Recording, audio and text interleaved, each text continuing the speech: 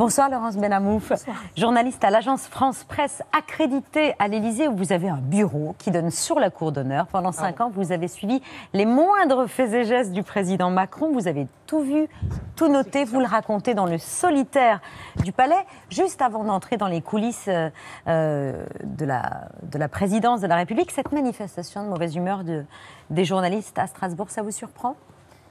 On a déjà assisté à pas mal de, de, retard hein, dans les plannings présidentiels qui sont quand même assez bourrés. Ce jour-là, il avait cette session au Parlement européen, suivi des vœux aux armées. A des soldats qui attendaient depuis trois heures dans le froid qu'il arrive. Bon, il n'a a pas voulu les faire attendre. Mais en l'occurrence, c'était aussi la, présidente du, du, Parlement européen qui a prévu de déjeuner avec lui. C'est elle qui en fait organisait, c'est elle qui, a fait annoncer l'annulation de cette conférence de presse. Les journalistes sont partis. C'est rare quand même que ce soit complètement annulé. Euh, ils l'ont interpellé euh, dans le couloir à la sortie. Et euh, il a montré sa montre, etc. Non, ça, a pu arriver, pas à ce point-là. La salle de presse installée dans l'Elysée, elle existe depuis 40 ans. Elle est ouverte jour et nuit aux accrédités permanentes des quatre agences de presse internationales, l'AFP, l'AP, Associated Press, Bloomberg et Reuters, une salle de presse que la présidence a d'abord songé à fermer pour la déménager quelques rues plus loin, un projet finalement abandonné. Pourquoi c'était si important pour vous et pour les journalistes en général de préserver ce lieu à cet endroit-là En fait, euh, l'Élysée, c'est une forteresse militaire. Personne d'autre n'entre que les gens qui travaillent pour le président. Ce, petit enclos-là, vous avez les, les, touristes qui se dévissent le cou pour regarder un peu les graviers, euh, un petit bout de fenêtre, parce que le président est là. Personne ne peut rentrer, sauf un seul un seule catégorie d'intrus. Un seul corps étranger. Un seul corps étranger, vraiment.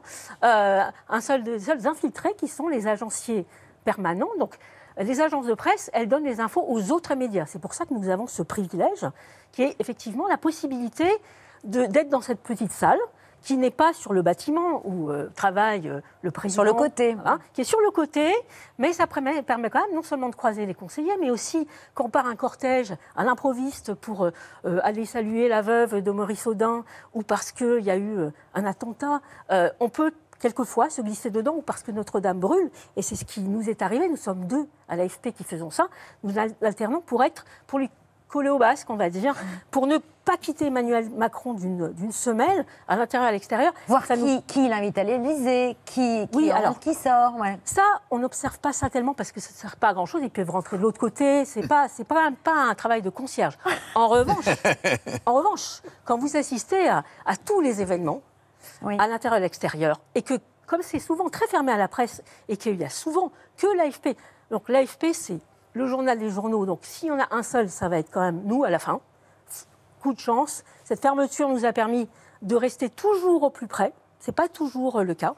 Vous voyez la continuité de ce boulot, ce boulot incroyable du président, tous les fils qu'ils essayent de tenir, et vous voyez se dégager une personnalité qui évidemment fait le travail. Vous n'avez pas mode d'emploi quand vous devenez président, et, et lui le fait euh, à sa façon. Et du coup, on essaye nous-mêmes de suivre mm. tous les fils, l'international, le national. Enfin, voilà. Dès le début, les rapports sont assez tendus entre la présidence et les médias, notamment avec Sibeth Ndiaye, alors conseillère presse et communication à l'Élysée. Exemple, cette scène que les caméras de cet avou avaient captée à l'époque, c'est le 18 mai 2017 dans la cour de l'Élysée. Donc la proposition que je vous fais, c'est que vous vous mettiez à l'extérieur.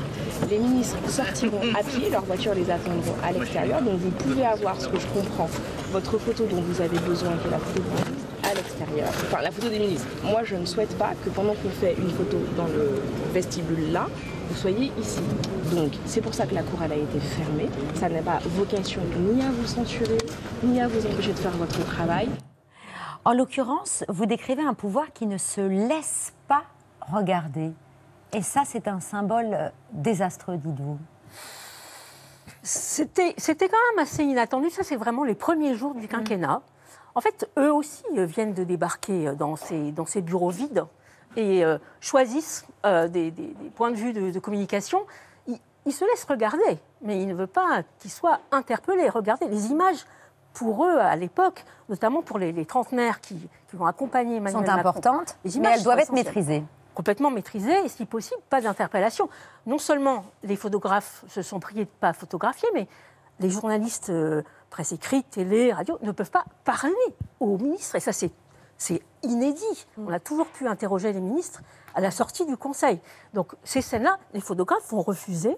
Il va y avoir, ça va, il va y avoir un bras de fer, un bon, bon quart d'heure, si je me rappelle bien. Ils vont finir par les photographier à l'extérieur. C'était un peu bancal parce que Mm. euh, qu'on ne pouvait pas quand même s'opposer complètement. euh. Mais ça va plus loin.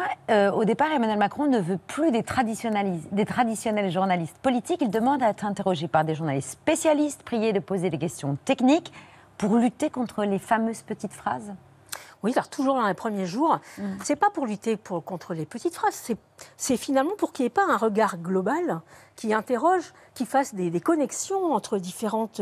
On différents cloisonne. choix. On cloisonne. Et quand on morcelle, on n'a plus de vision d'ensemble et on n'a plus de vision politique, parce que c'est ça la vision politique, c'est l'ensemble. Et nous, accrédités, comme je- j'essaye de, le raconter dans ce livre, c'est l'ensemble qui est intéressant. C'est ça qui permet de comprendre une présidence. Et euh, c'était complètement euh, impossible que des rubricards euh, se plient aux horaires, aux imprévus, etc. Il faut vraiment des gens qui ont l'habitude. Et d'ailleurs, ils sont revenus là-dessus assez vite.